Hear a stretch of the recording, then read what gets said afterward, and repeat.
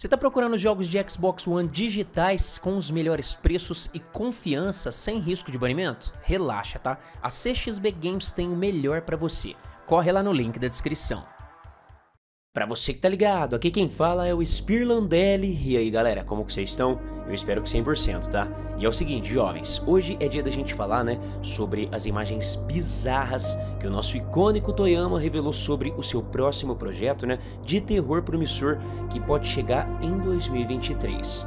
Se você não sabe, Kichiro Toyama é nada menos, né, que o criador de Silent Hill, um dos jogos de terror mais fantásticos e marcantes da história dos jogos e que inclusive vários fãs têm esperança aí de ver um próximo novo jogo ou quem sabe até mesmo né, um remake de qualidade.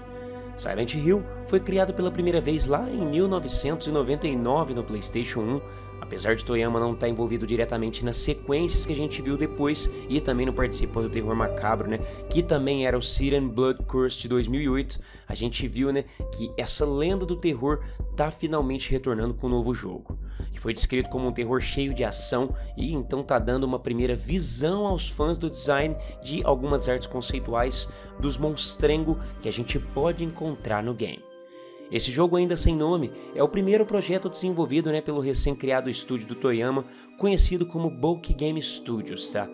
Em uma entrevista recente, ele disse que o jogo vai atrair muitos fãs antigos e também novos, né? E será focado totalmente em um terror macabro, mas também com uma boa abordagem de ação e aventura também para atrair outros jogadores um tanto quanto ali convencionais. Recentemente, Toyama tem trabalhado em jogos como Gravity Rush da Sony, né? E apesar de não ser um jogo de terror, esse game foi muito bem recebido de forma positiva, tá galera? Nessa mesma entrevista, o Toyama diz que quer que os jogadores se sintam entusiasmados ao jogar esse novo jogo, dizendo que quer manter tudo muito impactante e divertido ao mesmo tempo. Nas imagens, a gente vê monstros perturbadores surreais, como por exemplo, né, essa criatura que parece estar brotando um inseto do seu rosto, além de outras que parecem ter muita inspiração em lulas ali, né, e escorpiões, como outras monstruosidades insanas. A criação desses monstros e a energia geral que o novo projeto passa foram inspirados em quadrinhos, tá galera? De jogos mortais que o próprio Toyama afirmou que gosta de ler. Os mangás dos Jogos Mortais recentemente né, se tornaram algo mais popular na mídia ocidental com o lançamento de Alice in Borderland da Netflix, que é uma série muito da hora que eu já assisti e que faz uma adaptação do mangá, né, que mostra ali alguns jovens sendo transportados para uma Tóquio alternativa, onde eles devem participar de jogos perigosos e desafios insanos para sair dali. Toyama deixou bem claro que o jogo vai apresentar não só coisas que matam a gente de susto, tá galera, mas também invadem a nossa cotidiana forma de pensar sobre jogos de terror, fazendo com que o jogador questione muito sobre realidade e ficção.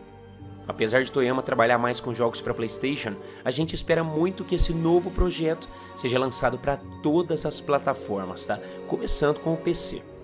Pelo que foi dito, é muito provável que o game chegue em 2023, como eu relatei no começo do vídeo, tá galera? E olhando para essa arte conceitual, é extremamente certo de que a gente vai ver muita coisa bizarra, estilo Silent Hill mesmo, tá? Da forma que o Toyama adora. Ainda mais porque hoje em dia os jogos de terror são muito mais populares do que na época que saiu Silent Hill, né? Nos últimos 20 anos cresceu muito o gosto desse gênero pelos gamers, com uma grande variedade de histórias e atmosferas perturbadoras que faz a gente pular da cadeira.